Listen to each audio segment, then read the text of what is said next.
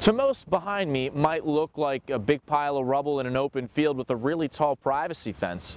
But to Uber, the ride-hailing giant, behind here lays Almono, their secret city that they built just to train their humanless self-driving cars.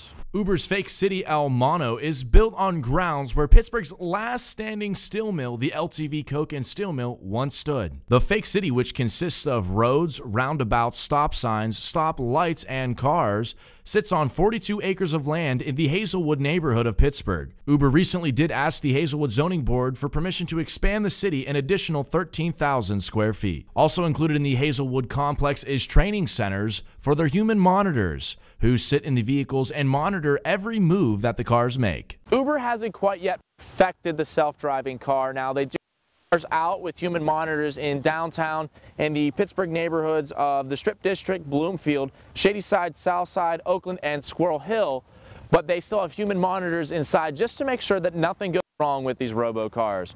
Reporting outside of Almono, Uber's fake city in Hazelwood, Gage Goulding, RMU Sentry Media.